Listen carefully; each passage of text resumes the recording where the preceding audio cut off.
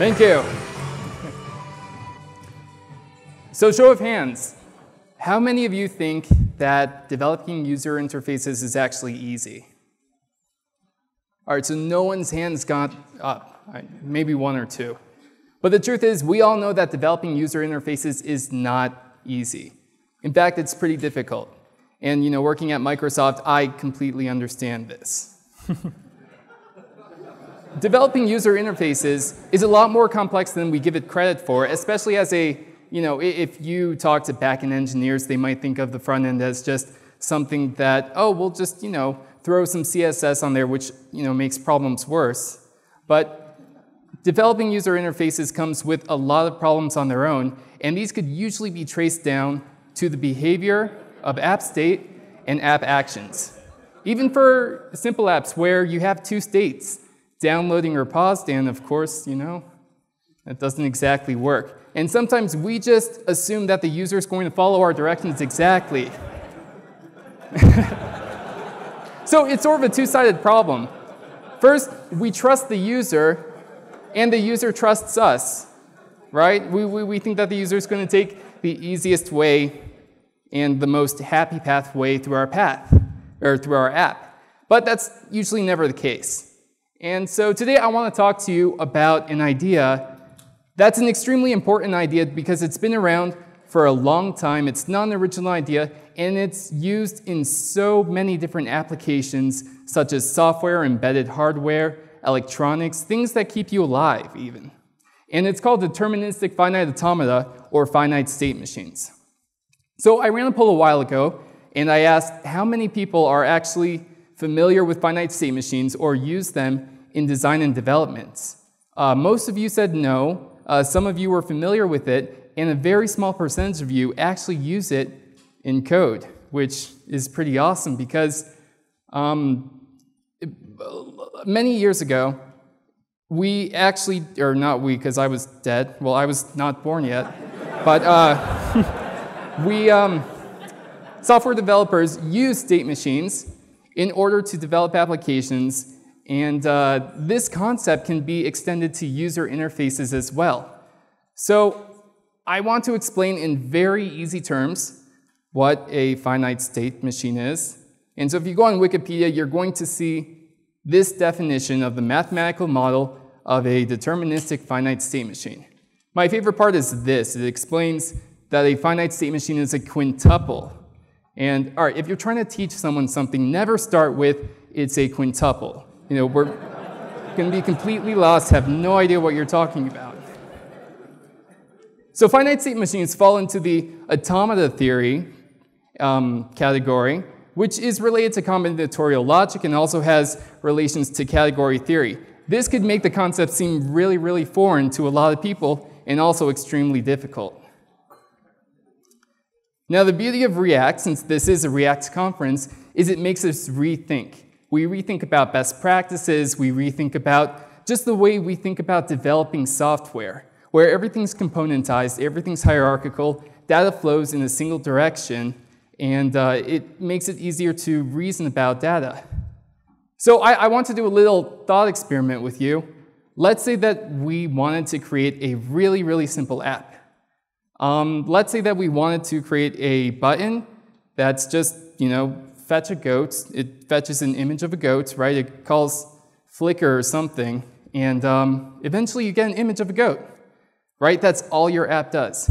You're probably thinking right now, like, yeah, that's actually pretty simple to implement. You know, I could think immediately how I want to do this. First, we're using um, component state, because we're not going to get fancy and use Redux quite yet. Uh, we're also, you know, going to have an events handler that fetches the goat. So once we get the goat, we put it in state, and then our render function is just going to show the goat. Pretty simple, right? Here's the problem. What if a number of things happen? What if the goat search fails, right? What if we get an error from the server? What if uh, the user decides that he or she really wants a goat and clicks the button repeatedly, like, just give me the goat? And uh, so what's going to end up happening is you're going to have the photo of the goat and then another goat loaded and another goat because, you know, it's a race condition. So what you could do is disable the button, But then that's a problem too because the user could just say, oh, I'll just undisable the button. You know, it's really easy to get around apps that way. Also, what if we wanted a custom loading message or a custom error message? we have a little bit of work to do now. So now in our state, let's, uh, and this is a typical way we think, right? Let's add some Boolean flags, right? Let's say um, we'll, we'll keep track if there's an error, and we'll keep track if we're in the middle of searching for a goat. Also, in our event handler, let's make sure that if we're searching for a goat, let's not try to get another goat, right? And let's also indicate if the search fails that there's a goat error and display an error message accordingly. So on that button, we'll say, hey, the goat failed to load, so do you want to retry? Our code now got a lot bigger. So before, it was like this. Don't try to read it, by the way. I'm just showing the size. And now we have this. Yeah, well, it's odd shit. You can't really see the shit because it's on the back background, but this is called the bottom-up approach to software development. and this is what most of us have either done or are still doing today. And there's a reason for this. It's because it's simple and it works. But there's problems with this. In a bottom-up approach, our event handlers, so for example, when we click a button and we try to you know, fetch the goat, we have so many possible things that could happen in that event because of the business logic involved. So now our business logic, logic is decentralized and it's present in so many different event handlers and it's all over our code. This makes it really difficult to understand exactly what's happening to our code. And this means our code is going to contain bugs and adding features is going to be an absolute nightmare. Have you ever tried to add a feature to a legacy app or an existing app that you worked on? Where, you know, if it's a week old, it is a legacy app. Doing that makes it just extremely difficult because you have to remember which parts of the code that, you know, that you have to touch and that whatever state you're modifying is touching. And this also makes it really difficult to test as well water break. Now with React, React has a very simple and a uh, very performant data flow model where since components are nested uh, from their parents, we have props and we have set state. This sort of, and you know, I mean no criticism to React, but this sort of exacerbates our problem with how we develop applications. And the reason for this is because as soon as we need to go to you know, a different state that, um, or sorry, a different component that's not part of the tree, now we have just a flurry of different options that we have to choose from. And so this, thing, this makes things a lot more complicated. And I know some of you are going to go to me and say, well, well, actually, David, you could, you could probably you know, just use props and set state for this too. Maybe use a callback prop. Like, I know I could do this. I could also drive from Florida to Utah, but I decided to take a flight because it was a lot simpler, it's more direct. You know, we like going from point A to point B in the shortest path possible. So the main takeaway from that is this. It's that user interfaces are graphs. They're, you know, they're not strictly trees, they're graphs, which means that things can connect to other things in a non-hierarchical fashion. And I know some of you might also come to me and say, well, actually, my, my application is a tree and data flows perfectly down. I'm still right because trees are graphs too. So don't at me. so keep that in mind as we go through um, what deterministic finite automata really is. And we're going to be using probably the simplest example, which is a traffic light, uh, to explain what this is. So let's break down all of these three confusing words. First of all, finite refers to the number of possible states we have in our application. In a traffic light, we have three, green, yellow, red, right? Then we have automata, which is just a fancy word for a predetermined sequence, something that's built in, something that mechanically will always happen in a single way. For example, green will always go to yellow, yellow will always go to red, and red will always go to green. Because, you know, if green goes directly to red, people die. So we want to make sure that doesn't happen. And deterministic finite automata are also deterministic. And what this means is that given a current state and an action, you will know what the next state is going to be all the time. So when the timer goes off, it will go from green to yellow, and then yellow to red, and then red to green, and we could predict this to happen every single time. In Utah, these timers are like 20 minutes each or something. so we, we could also consider this a finite state machine. These two things are the same thing. So if, um, if you've heard finite state machines, this is exactly what we're talking about, just to make things a little less confusing. All right, so now let's talk about designing state machines. And fair warning, there's a little bit of graph theory in here. And um, yeah, so let's take Pac-Man for example. In Pac-Man, we have the ghost, which could only exist in one of three states. First, as a normal ghost that's chasing Pac-Man or Mrs. Pac-Man. Then, as a ghost that, you know, once Pac-Man eats a cherry, uh, it runs away. And then um, if the ghost is eaten, then you know the ghost becomes dead, or what? Well, ghosts are already dead. I don't know. It becomes eyeballs. okay, so in a graph, remembering you know your like what a graph is, we have three nodes or states. These are the finite number of states what, that we represent. In a finite state machine, we always have an initial state, which in this case is just a normal ghost. We have the edges between the nodes, which are the transitions between the states. Now these have arrows, which makes this a directed graph. Why? Because we're going from one direction to another. And then we have actions that cause these transitions, just like I talked about. Once Pac-Man gets a pill, did I say cherry? I'm sorry, I meant pill. Uh, then it becomes, you know, a scared ghost. You eat, revive, or the ghost could go back to a normal ghost, or yeah, the scared ghost could go back to a normal ghost once the timer goes off. So let's go back to our original example. Before we do anything else, we could use two powerful tools that require no code. It's just pencil and paper. I say pencil instead of pen because you will make mistakes. I make mistakes. And with pencil and paper, you could draw this out as a state transition diagram. So considering our original example, first we're in an idle state, right? We're waiting for something to happen from the user, and the only thing the user could do is click. Once that happens, we go into a loading state. And then this fetch could either resolve or reject. And so when that happens, we go to one of two states, either GOAT or error state.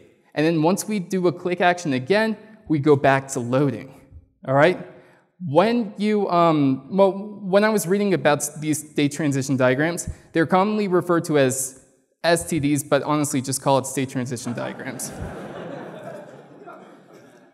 Now, you might find this sort of notation vaguely familiar, and that's because designers inherently work with state machines all the time. It's sort of a natural way of thinking. Uh, they might call it like user flowcharts or something like that, where a user can go from one state to another of the app, and they would design each state of the app. So this is a powerful application of state machines because they provide a common language for both designers and developers alike. And I don't need to tell you how powerful that is. So now that we've designed our state machine, let's talk about how we develop them. Uh, if you were to look you know, at computer science books or whatever and read up on how do you declaratively represent a graph, then you're going to see an adjacency list, which is just a mapping of states to states that they're connected to. Unfortunately, this doesn't give us all the information that we need because you know, we need to know what actions have occurred. So what I propose is this. It's a, uh, a machine can be represented as a mapping of states, such as idle, loading, goat, or error, and then each one of those states could be represented as a mapping of actions to the next states. And so if you thought that these finite state machines were difficult to implement, here's the transition function. It's just a lookup function where we look up the current state and then we look up the action that has been performed upon that state. And so if you wanted this magical finite state machine library, here you go, 24 bytes, you know? I don't even need to put it on NPM or anything, you could just memorize it. If you gzip it, it becomes 44 bytes, so don't gzip it. All right, so now let's talk about how we could put this back in our um, application. Let's refactor it a little. So now uh, in, our set, in our state, our component state, we're going to represent the state as two things. We have the finite state, and then we have whatever data we get.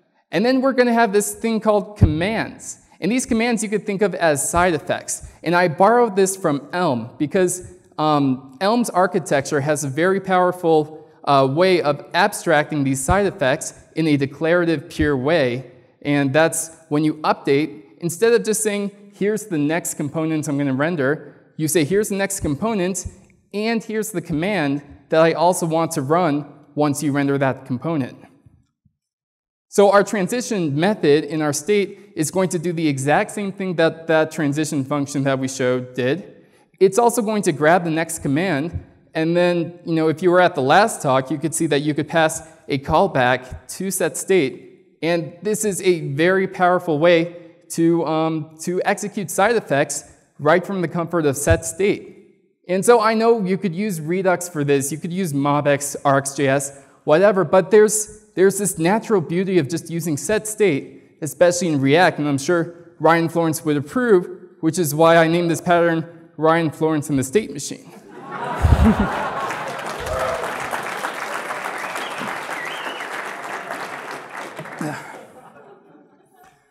now, in our event handler, um, it becomes extremely simple. Why? Because when we get a goat, we just send off a resolve action. And when we, um, when we get an error, we just send off a reject action. The beautiful part of this, compared to our last thing, is that no matter how many other states we use, no matter how complex our application gets, this is never going to change. It's never going to grow. And that's the important part. And because of that, we could actually grab that state instead of random Boolean flags, and we could declaratively render our view. And I'm just using a, you know, a map or a uh, object, whatever you want to call it. Um, I know that sometimes you use switch, but honestly, I like representing things as, you know, just objects. So now, let's talk about testing and visualizing our state machines, because this is another powerful application of it. Oh, shoot. Hold on. It's resolving host. Ah, there we go. Come on. You know what? I prepared it here. So, because we could represent our state machine as a JSON object instead of switch statements or if statements or Boolean flags or anything like that, I could do some really cool things like, um, like representing it as a, a visual graph. So, you know, I could change this, and well, I guess it doesn't change. But anyway, I promise you it works. I just have a few bugs to fix. Uh, this is something called Cytoscape, um, and I, I tried to use D3, but D3 doesn't really handle nested graphs and things like that. But the idea is that by having a declarative representation of your finite state machine, there's a lot of applications that you could do, there it is, that you could do from it. And also, testing is more powerful too because of this. Why? Because um, you know, when you're using Storybook or you're using just snapshots, you want to do two things. First, you want to get all of your states. All that is is object.keys, right, on your, you know, on your object.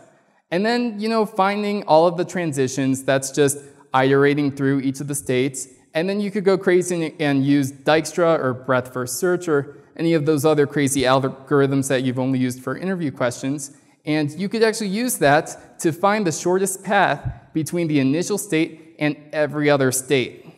And that way you could automate unit testing and uh, integration testing. Now, it would, it would not be right for me to, um, to talk about all the benefits of finite state machines without talking about some of their trade-offs too. Uh, one of the most obvious trade-offs is that um, let's go back to our traffic light example. Let's say that we have a, you know, a simple traffic light that goes from green to yellow to red. And now let's say our boss comes in and says, hey, you know how we live in Florida? We have hurricanes, we have um, power outages because of thunderstorms. Uh, you know, sometimes Florida man crawls on the power poles and takes it down. So we need this flashing red state whenever the power goes out. All I did was add one state, and you see what happened? Now we have three more transitions. So imagine if we had even more states. We had to add even more transitions, and this is what's known as state explosion. Uh, I, I was um, creating this slide at the airport. That was not a good idea. anyway, there's this thing called state charts that solves this. And what state charts are, are hierarchical finite state machines, and they were invented by a guy named David Harel, so they're also known as Harrell state charts. And again, this was in 1987, so it's a very, very old concept that's definitely useful today. There's three main benefits of state charts. The first one is that you could represent your finite state machines as hierarchical states. So now instead of saying, um, you know, we have all these states interconnected, let's imagine this as two states, both the normal operation of the traffic light and the flashing red thing. And so now we could just say, when normal has a power outage, go to flashing red. And so there's two rules with hierarchical states. The first one is when you enter a state, you also enter all the initial substates. So when you enter normal, you're actually in normal green. And then things progress as normal, normal green, normal yellow, normal red. And then when the inner machine cannot handle an action, such as a power outage, it sends it up to the parents and asks for help, sort of like, like talking to God or something. And then it would take that normal, um, and normal would say, hey, I know how to handle this and then it would just transition to flashing red. So this simplifies things a lot because we could put as many states as we want inside normal, and the number of transitions outgoing to flashing red will never change. There's also the concept of concurrent states, which is that a state machine could be in more than one state at the same time.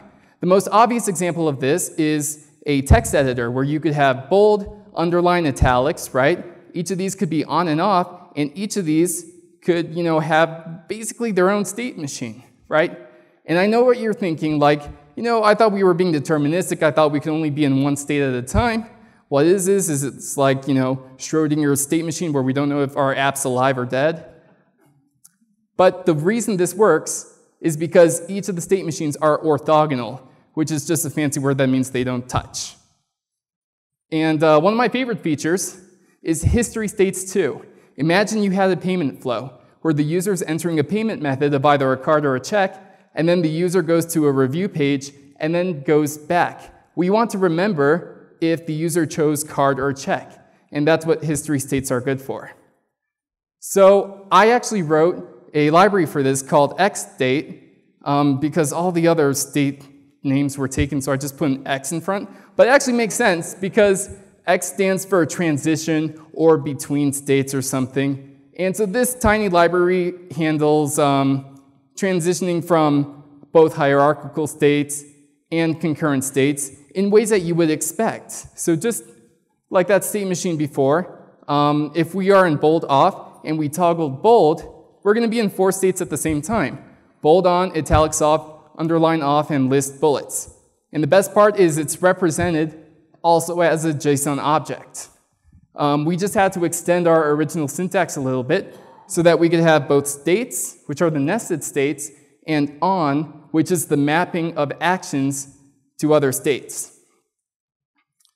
Now, there's a lot of advantages to using state charts, such as having precise semantics, um, which allows you to make them declarative, having a rich expressive notation for describing these state charts, and many other things where you could describe complex user interfaces in a completely declarative way. Now, um, the, my, my main inspiration for this and where I got the most information is from this book called Constructing the User Interface with State Charts. It was written in 1997 by Ian Horrocks, and I, I really want to recommend it to you, but if you go on Amazon, it's like $675. So maybe hold off or put it as a business expense I don't know. Thankfully, there's other resources for this, including the original paper and two excellent articles by Guillermo Rauch and Adam Solove, which don't necessarily talk about state charts exactly, but they definitely point in that direction. And um, as I was walking, I saw this sign, so I thought it was extremely appropriate that even though it's covered in bird shit, it's a very important message. and that's that we want to stop maintaining state in, in an unpredictable way. And so I, I really encourage you, whether you're using it just for design, just for testing, or if you're going the extra mile and you're using state machines for actual development, that, that you find state machines and thinking of your data as a transition between two different states connected with an action that um, you, know, you start to represent your data in a way that's robust, testable, maintainable, and easier to reason about. So with that said, thank you, React Rally. You could find me everywhere at David K. Piano. Thank you.